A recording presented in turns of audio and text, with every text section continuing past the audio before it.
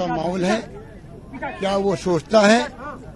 क्या हमारे नेता सोचते हैं विभिन्न राज्यों के अंदर? और क्या हम लोग सोचते हैं? तो खुल के बातचीत उनसे हमने करी है।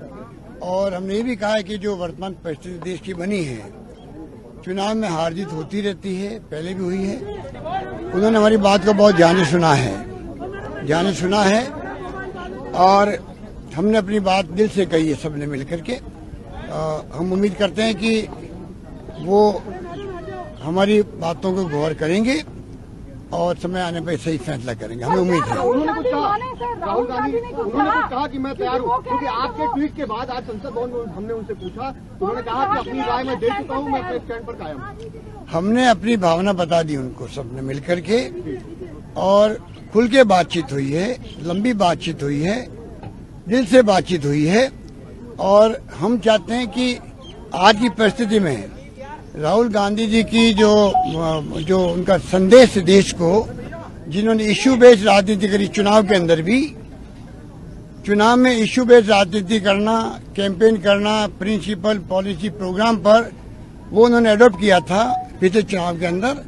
और दूसरे पक्ष ने, दूसरे पक्ष ने देशभक्ति के नाम पे गुमराह किया देश को।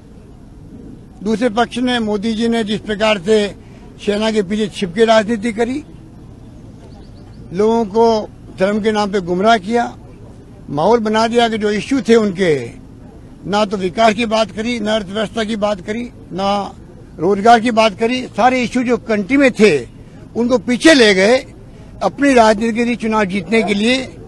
वो जाति या धर्म के नाम पर या सेना के पीछे छिप के राजनीति करना अलग बात है। इस प्रकार की राजनीति हुई।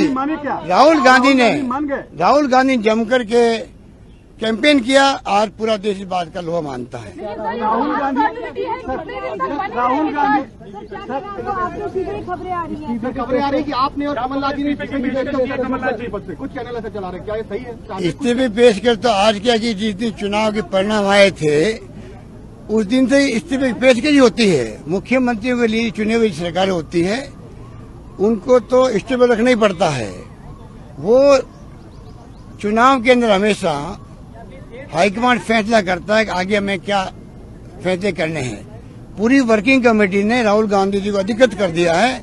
वो जो चाहे वो फैसला करे पुनर्गठन करे रिप्लेसमेंट करे कुछ भी करे। ये फैसला 25 अगस्त को हो चुका है।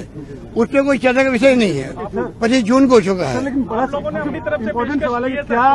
इम्पोर्टेंट सवाल? ये है कि राहुल गांधी जी ने हमारी बातों को गौर से सुना है। सुना है गौर से सुना है। हम उम्मीद करते हैं कि वो पॉजिटिव फैसला करेंगे।